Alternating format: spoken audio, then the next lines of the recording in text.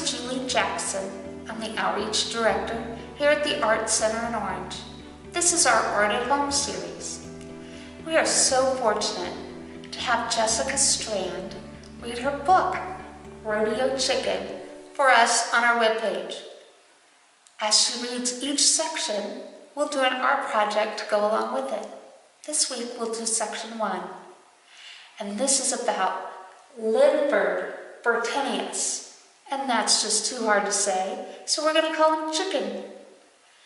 Chicken and his friends, Jake, Buckeye, and Frederick, are all on the farm.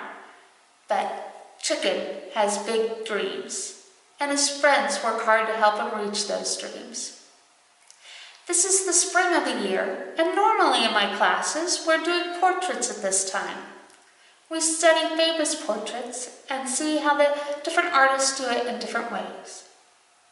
Well, we're going to do portraits of Chicken, Buckeye, Jake, and Frederick in the next few weeks. And then we have you do a self-portrait of you. Won't that be fun? Let me show you how we did Chicken's portrait. Now when we talk about portraits, we're talking about from the shoulders up. We don't show the whole body when we're doing a portrait. I took a big sketch,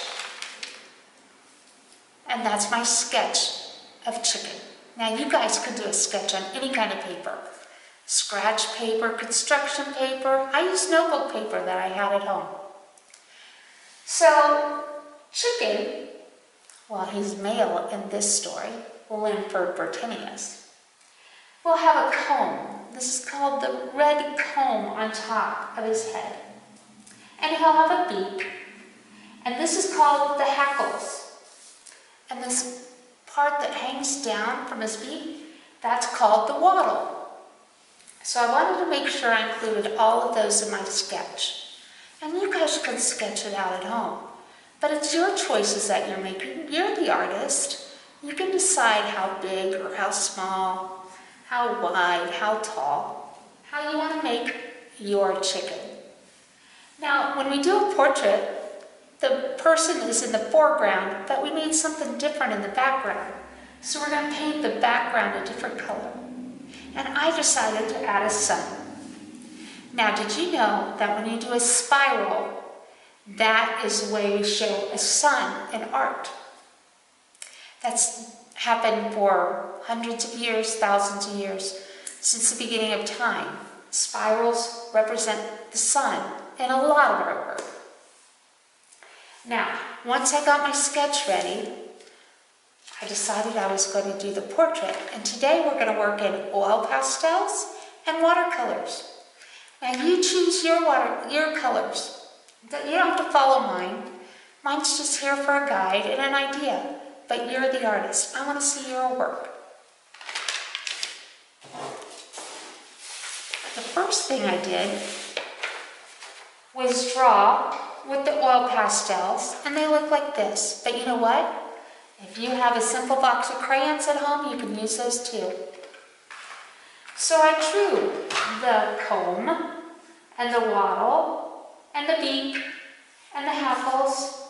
Now I didn't want this to look like it was just a flat thing because chickens have feathers. And you know what? When you draw feathers, they're almost like scales on a fish. So there's layers and layers and layers of feathers. So when you draw them, you want to go in there and put some some things like that in there so it shows texture in your picture. So once I have them all drawn, and I drew my spiral up here too as well. Once I have it drawn in oil pastel, I get out my trusty watercolor palette. Most of us have these at home. And I painted in the comb with my red. And then I painted the wattle as well. And this part around his eye was also red. Now the next thing I could do would be to paint his beak. So we're going to paint some orange in there. You really have to fill your brush. Fill your brush for that beak get it orange or whatever color you're using. Now wherever you drew with the oil pastels, the watercolor is not going to stick to that part. So you get to see the parts underneath it. So I continued painting and I decided that I needed a background. And so I did a little bit of green out behind, a little bit of blue, and there's my spiral, my sun. This is what they turned out like. Now yours can look like anything you want. This is your vision of chicken from rodeo chicken. Now just start with a sketch and go from there. Hey, tune in next week and see which friend will be doing a portrait of them. Bye-bye for now.